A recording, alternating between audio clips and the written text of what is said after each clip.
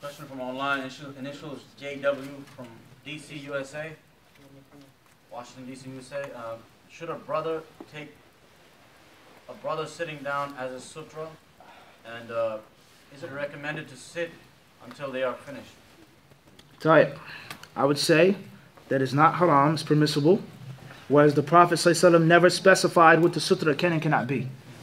He never specified what the sutra can and cannot be, what it should and should not be. He never specified that.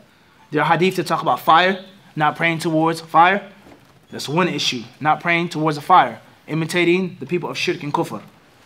Other than that, I don't know about hadith in which the Prophet specified what the sutra can and cannot be. Everybody understand this? He didn't necessarily specify that. Okay, so that's first and foremost. So it being permissible. Secondly, is it recommended or is it a good thing? If you feel that the person is going to remain sitting there for the duration of your salah, la bas.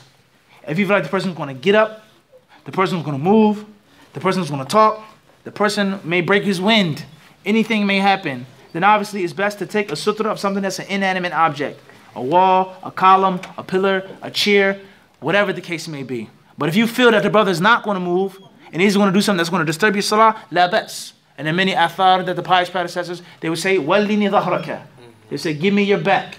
Lend me your back. Let me wrench your back for a couple of minutes to make the salah. And they will pray behind him. So there's nothing wrong with that.